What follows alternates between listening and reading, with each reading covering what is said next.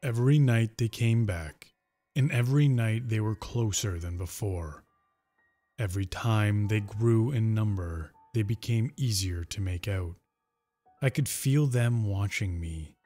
I didn't know where they came from, but I knew that they wanted to hurt me. I could feel it. I saw the first one three nights ago. My house is the last one in the neighborhood, and I live alone at the end of the street. So beyond my small yard is tons of acres of undeveloped land, which mostly consists of tall pines and lots of undergrowth. The street just ends a few yards from my house, the grass and tree roots growing through the black top. All we got was an almost useless street lamp I had to petition for because the darkness of the woods creeped me out. The dull light from the street lamp illuminates a good portion of my yard, but because some of the tree limbs cast shadows across it, the light spans a few feet into the woods to the wall of my house and almost completely covers the front yard. One of the benefits of the light.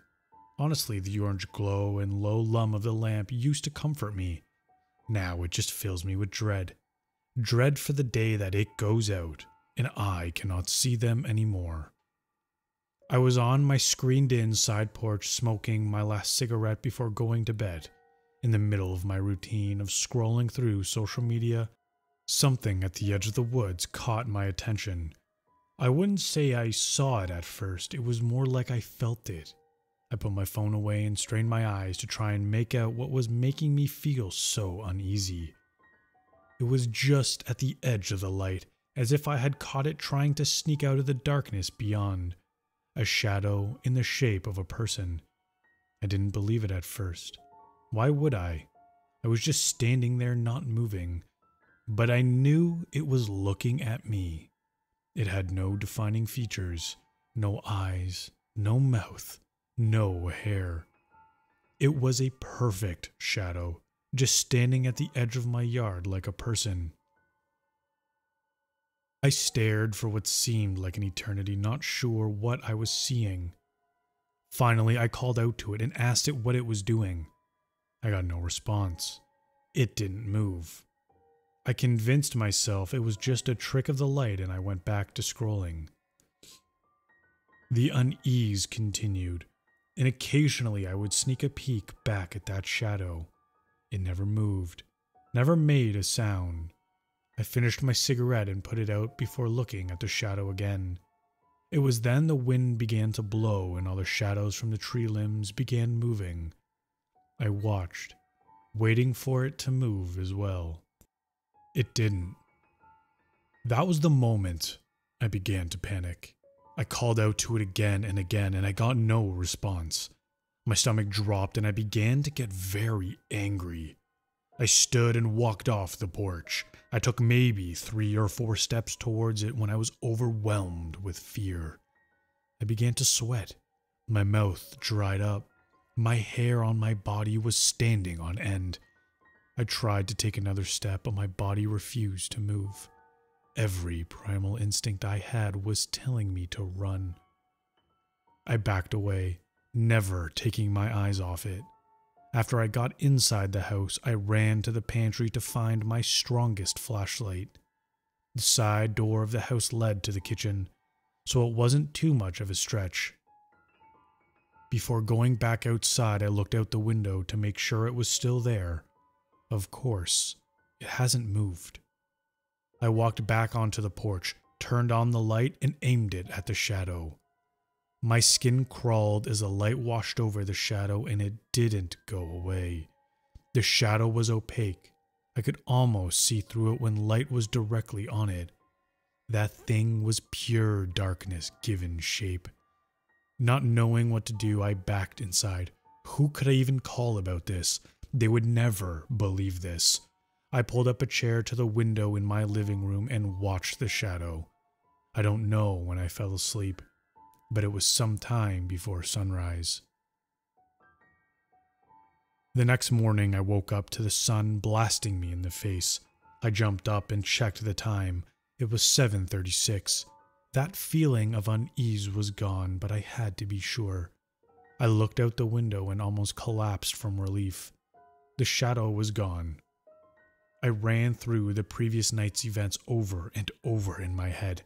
Maybe I had dreamed of the whole thing. That had to be it. Either that or I was going insane. Maybe both. It took me almost an hour to build up the courage to walk outside and inspect the spot where that shadow stood. What made my blood run cold?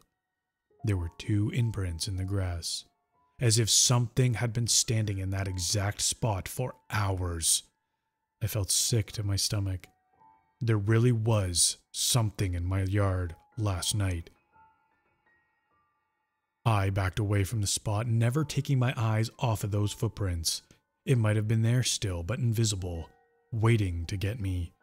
But if that were true, why didn't I feel that uneasiness I felt from last night? Did that even have anything to do with the shadow? I prayed I wouldn't be back to answer these questions. The rest of my day went by normally.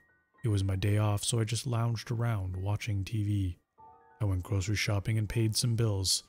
I don't really remember much of the day other than that. I just remember being anxious about nightfall, hoping that it wouldn't come back. God, what I would give to be able to go back to that feeling instead of that absolute dread that I feel now. Nightfall came and I did my best to keep my mind occupied. I cooked dinner, turned on one of my favorite comedies, and smoked some pot. That night wore on, and I began to feel a little better. It was past time the shadow appeared the night before, but I went outside to smoke a cigarette. I lit it and pulled my phone out to check the time when that feeling came back, stronger than before. I looked up, and there it was, a few feet closer and more defined. I didn't have to strain so hard this time to see it. A whimper forced its way out of my mouth, and I scanned that tree line. And that is when I spotted another one. It was standing just outside one of the shadows made by a tree limb closer to the road. It was standing in the same pose as the first, arms just hanging at its side. But it was facing my direction. I screamed and jumped back, falling over the chair and busting my ass. Before I realized it, I was up and yelling at them, asking them what they want from me. My fear had been replaced by anger once again, and I walked out onto the stoop. I looked onto the ground for something to throw and spotted a small rock by the step. Without thinking, I grabbed it and flung it at the shadow. The rock hit the shadow right in the chest, and it fell to the ground, but there was no sound when it connected. It was as if it hit nothing. The shadow didn't move. I called out to it again and asked them why they were here. There was no reply, of course. I didn't know what I expected. And that is when I realized that there were no sounds, no crickets, no birds, no natural sounds at all, just the humming of the street lamp. I looked from the first shadow to the second, the unease rising the more I looked at them. I wanted them to do something, say something, anything but they just stood there watching me. I retreated to my porch and lit another cigarette. I continued to watch them until it was done. Still, they didn't move. I immediately lit another. What were these things? Why did they fill me with so much dread? I thought again about who I could tell about them that wouldn't send me to an asylum. I don't have any friends or family, and they all live hours away if I did. I had never felt so alone as I did in the five minutes it took me to smoke that second cigarette. After finishing, I went back inside and posted up beside the window again. I could barely see that second shadow from my position, but as long as it didn't move, I would be fine. Hours went by and they never moved, but the uneasiness stayed. Once again, sleep crept up on me, and before I knew it, I was waking up. It was 8:42. I was late for work. I called my manager and apologized and told her I wasn't feeling well. She said it was fine and they were overstaffed anyways, to not worry about it. I asked her if she could find people to cover my shifts for the rest of the week as I wasn't feeling great and probably wouldn't be in. After a small back and forth, she agreed. I needed time to either get this thing sorted or get the hell out of Dodge. I spent the remainder of that day coming up with a plan for the night. I needed to get footage of them to show people. Why hadn't I done that already? I'm so stupid. But what was the plan after that? I couldn't get near them because of the feeling they gave me. I thought maybe that I could shoot them, but I didn't have the money or time to get a gun. I just reserved myself to reconnaissance for that night, and after that I'd see where things went. Waiting for nightfall was awful. I couldn't eat. I didn't smoke. I tried to take a nap because I was exhausted from barely sleeping the two previous nights. But every time I started to drift off, I would think about the shadows consumed and jump awake. I couldn't do anything. I couldn't sit and wait until it got dark. The hours dragged on. The day seemed like an eternity of waiting. Finally, night came. I walked onto my porch and waited with my phone in hand, periodically checking the time. The usual sounds of nature were there the crickets, cicadas, the odd bird. I held out for some tiny bit of hope that the shadows wouldn't show. Then, at 9.07, the sounds all stopped and all I could hear was the hum of the street lamp. My stomach dropped so bad I felt physically sick.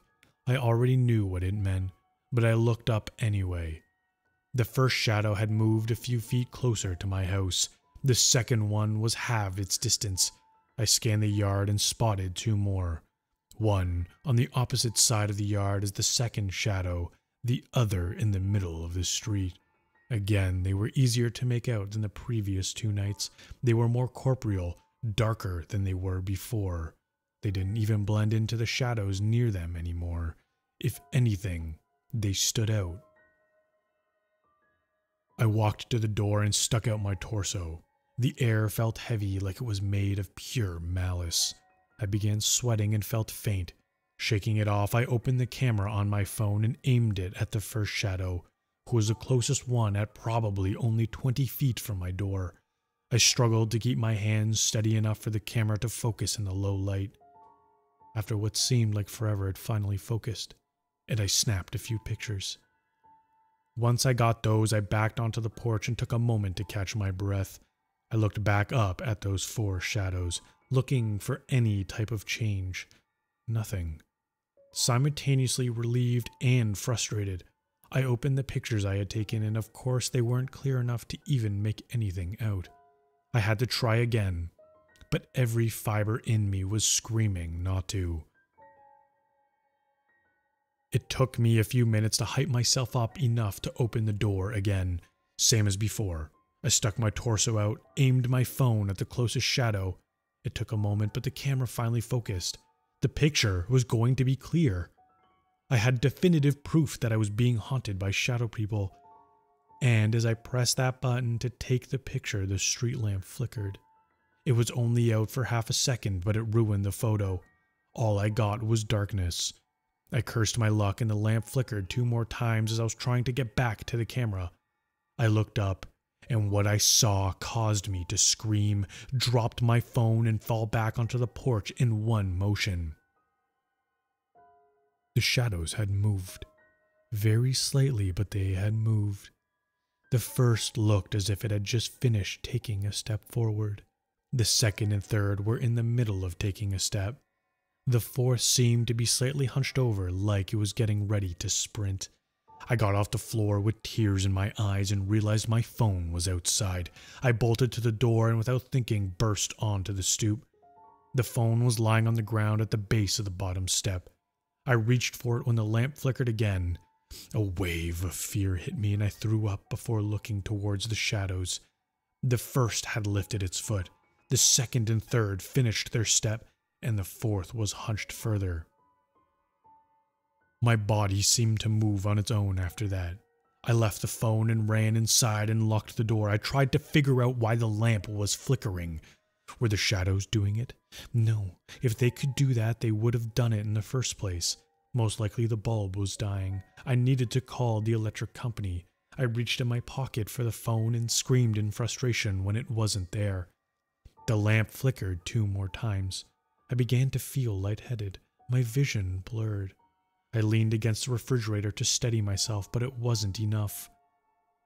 My last memory from that night was falling on the floor. When I woke up, I was still on the floor. Sunlight poured through my windows. I struggled to get up and I felt weak. I didn't eat the day before and I had barely slept in days. I finally got up and looked at my stove for the time. 11:48. Christ, it was almost noon. I stumbled out onto the porch and winced as the full brightness of the sun hit me. I walked out the door to the stoop and picked up the phone. It was busted to all hell. I sat on the step and cried.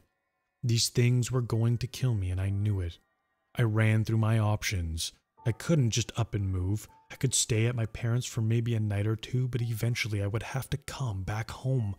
How many would be here then? I decided that I was going to fight them. This was my home. As long as there was light touching them, they wouldn't move. I could just buy a bow and take them out on the front porch. I hadn't used one since I was a kid, but I was pretty decent back then, so I had a good feeling. First thing I needed to do was get that light replaced, though. I drove down to the electric company and told them the light was out and it needed to be fixed as soon as possible. They told me it would be later in the afternoon, but it would be fixed before dark. I thanked them and drove them immediately to the nearest sporting goods store. Once there, I asked an employee to show me the bows. I was a little hurt by some of the prices of these things, and finally I settled on one in my price range and stocked up on arrows, with some gnarly heads. On the way home, I stopped by a drive through. I didn't eat much. When I got home, I began putting the arrows together and practicing drawing the bow. I felt pretty confident in my abilities, even though it made me sore as hell. At about 4 in the afternoon, the repair truck finally came out and I walked out to meet the guy. He told me I looked sick, which I laughed off as having the week off and partying a little too hard. We had a laugh and then he went to work. Once he was done, we made some more small talk and he asked me if I was ready for the big storm that is coming through later. My heart dropped when I told him I didn't even know it was coming. He pointed up and the sky was extremely overcast and I cursed myself as I realized that had been all day. I thanked him when he left. I hauled ass back to the sporting goods store. I ran to that hunting section and I bought the brightest battery operated spotlight and headlamp they had. Between the bow and these, I almost wiped my account, but I wasn't going to take the chance of those things coming to get me. I could always make the money back. As I walked out of the store, the first few raindrops began falling. By the time I got back home, the storm was in full swing. The wind was killer, whipping the rain sideways so hard it stung. In the short distance from my car to my house, I was completely soaked. Once inside, I grabbed my flashlight and set it up facing the middle of the kitchen floor. If things got bad and they got into the house, I could turn it on and slow them down. If not, stop them outright. I set up the spotlight in the living room just in case the flashlight didn't stop them. All I could do after that was wait. So I sat, smoking a cigarette on the porch, waiting for them to show. I was wearing the headlamp and I couldn't take any chances. It was 10:52 and they had yet to make an appearance. Maybe they don't like the rain either, I thought. There had been a few lightning strikes in the last hour and they seemed to be getting closer. They finally showed up. I could feel them. The pressure, the dread, it was worse than ever. I looked out into the yard and spotted them. The first was only about 10 feet away now, with four not far from it, approaching from the side. Two and three were about 20 feet away, as if they were in no hurry. I scanned the rest of the yard, and I spotted four more. Two were at the edge of the tree line, and one was directly below the street lamp. And the last was standing where number four originally stood. There were eight of them. I didn't expect this many, but there was nothing I could do about it. I grabbed the bow and walked to the door of the porch. It took everything to convince myself to open it. Lightning struck and that got me moving. In one swift motion, I kicked open the door, drew the bow, and I aimed for the first shadow I let loose the arrow. I missed. Of course I missed.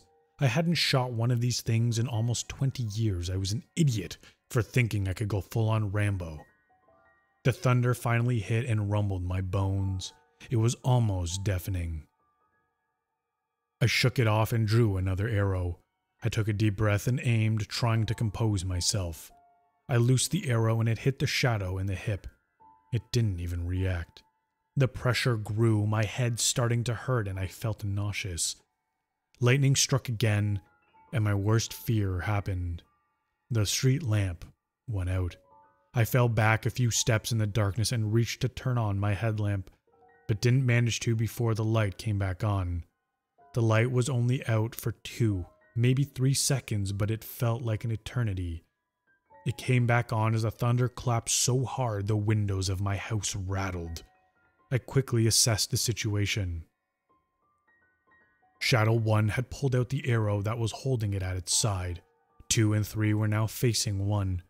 4 looked like it was in a mad sprint to the door, only about 8 feet away now. 5 and 6 were hunched like they were about to start running. 7 hadn't moved, and 8 had only taken a step, maybe two. I steeled myself and decided 4 was the most immediate threat. I notched another arrow, opened the door, and aimed for its chest. I loosed the arrow and it hit it right in the throat. The shadow didn't react, but the pressure grew. I felt something on my lip as I reached up to feel. I pulled back my hand and my fingertips were covered in blood. I had a nosebleed. The pressure was so great it caused my nose to bleed. There's no time to worry about that. I notched another arrow and took aim at four again. Lightning flashed as I loosed it, causing me to miss horribly. The street lamp went out again, but only for a second. Four was already reaching for the arrow in its throat. Thunder clapped and the lamp went out once again, as did every light in my house. I immediately turned on my headlamp and looked at four. It was in the process of removing the arrow. I looked around to the others as fast as I could. They were all in various phases of movement.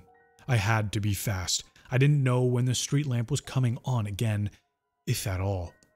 I nocked another arrow and aimed for four when the thunder clapped, startling me, causing me to drop the arrow. I heard a ripping sound to my right. I looked and caught seven frozen in time, tearing through my screen. I looked back towards four and my heart sank. He was four feet away, reaching for me. I jumped back, slamming the flimsy door. I hooked the latch and backed up to the kitchen. More ripping to my right. I swung around and saw seven halfway inside, with eight standing right beside it. Then something slammed into the door. I can only assume it was the fourth shadow. I turned to see it pressed against the glass like a child looking into a candy store. Even though there were no facial features, I swear it was smiling at me. Lightning flashed and I saw the rest of them were crowded around and not too far behind it. I fell back into the kitchen and turned on the flashlight. Thunder boomed, shaking the house again. The light illuminated the entire kitchen in a soft LED glow. I heard the latch rip from the doorframe. They were on the porch now. For some reason, I expected to hear footsteps, but there were none. They started banging on my kitchen door and the windows next to it. The door handle started turning slowly. My heart dropped. I was in such a hurry to turn on the flashlight, I didn't lock the door. I ran over and was reaching for the deadbolt when the window beside the door exploded, knocking me back for a moment. That's all they needed. The kitchen door flew open and I could see at least five of them gathered behind the fourth. They weren't coming in or moving, which was promising. The flashlight was doing its job. I relaxed a bit, but only for a moment. The doorway was only about five feet away, and they were easy targets. I notched an arrow, drew the bow, and loosed the arrow right at Four's face. I missed, but I hit one of the shadows behind it. I'll take it, I thought. I was reaching for another arrow when something flew through the broken window and knocked the flashlight over. The light was now pointed down the hallway away from the door, causing darkness behind it. I looked to see what happened and saw one of my arrows laying next to the flashlight. I looked up in horror and caught four in the process of crossing the threshold of my door. Instinctively, I turned and ran to the living room. I should be okay in here, I thought. They had to get past the flashlight blasting down the hallway to get me. I walked to the couch where I left the bulk of the arrows. I grabbed them and shoved them into the quiver as lightning struck once again. I stopped what I was doing because something outside caught my eye. Thunder clapped, and I looked towards the window. I didn't have time to look out because I heard the distinctive clink of a button and the light down the hallway went out. Fuck. I whipped around and saw one of the hands of the threshold on the doorway to the living room already. Without shifting my gaze, I walked to the spotlight, crouched down, and pressed the button to turn it on. Nothing happened. In a panic, I looked down at it. I quickly looked back up, and one of their heads was peering around the corner. It felt like it was mocking me. I reached down to pick up the light and immediately realized my mistake. I didn't buy any batteries. Fear set in. True fear. I was going to die here because I didn't buy batteries for a battery operated spotlight. Honestly, I probably deserved for that. No, I was getting out of here, I thought. I drew the bow and fired an arrow at the shadow's head. I missed, but the arrow lodged itself into the hand of the wood of the doorframe. That would help buy me some time. I launched another arrow and backed towards the front of the house. I fumbled to find the deadbolt with my free hand and without thinking, I looked down quickly. When I looked back, two more heads were peering around the corner at me. I finally got the door unlocked and opened it, never taking my eyes off of those shadows in the hallway. I got the door open a little bit, squeezing through without turning around. I took a deep breath and turned to run, closing the door behind me. I was about to run down the steps when lightning flashed and I stopped cold. In my front yard stood 13 shadows. I couldn't get a good count initially, but I started scanning the yard with my headlamp and counted them all quickly. 13. Had there been this many this entire time? I never even thought about the possibility that there could have been more than what was in my side yard. I didn't have time to think of a plan. The door behind me slowly started opening. I dropped the bow and turned to grab the doorknob to keep it closed while turning my head to try to keep some light on the shadows behind me. They were strong. It took everything I had to keep them from ripping the door out of my hands. The shadows in the yard were steadily creeping closer because I couldn't keep the light on them for more than a second or two. I could feel my nosebleed getting worse. My head was killing me. I felt nauseous and I was losing my strength.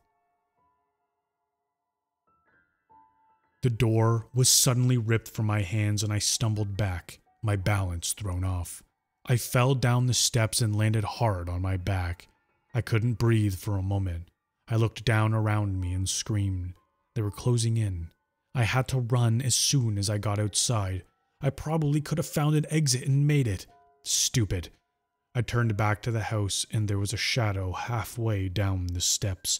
I looked again and they were closer. I looked back to the steps and the shadow was reaching for me. I closed my eyes. This was it. No matter what I did, one of them would get me. The attack never came.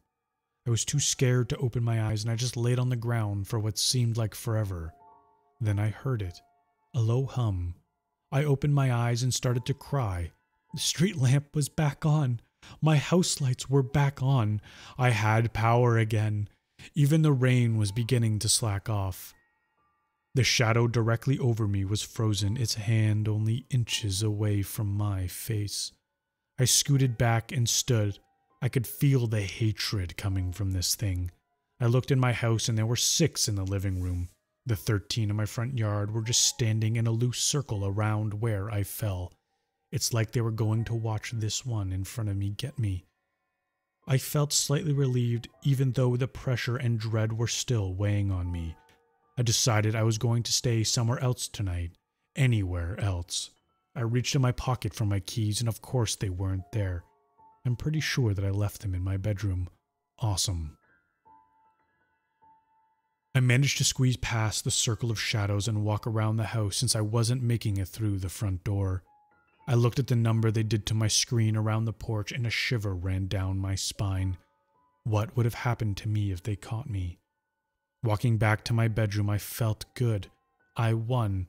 I am definitely moving out tomorrow, I thought, but that's a small price to pay.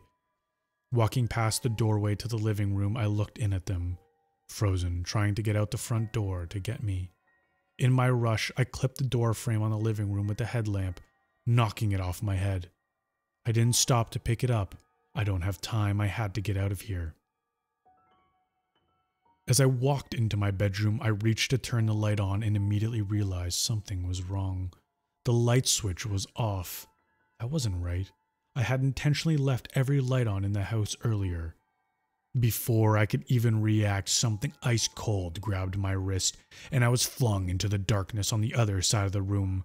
I tried to stand, but I was pushed onto the floor. My wrist started to burn. It was so cold. Screaming, I turned around to swing at my assailant. I connected with nothing and pain shot up my arm. My throat went cold, and I was lifted off to the ground and slammed into the wall. I couldn't breathe. I kicked my legs to try and force the shadow to loosen its grip, but I had no luck. I began lashing out, trying to hurt it. I only succeeded in hurting myself. It felt like I was hitting a solid wall. Finally, in a last ditch effort, I reached into my pocket and pulled out my lighter. I tried to light it, but I was losing consciousness. It finally catches, and the small flame illuminated the darkness around me and that shadow. It stops the assault and surprisingly loosens its grip around my throat a little.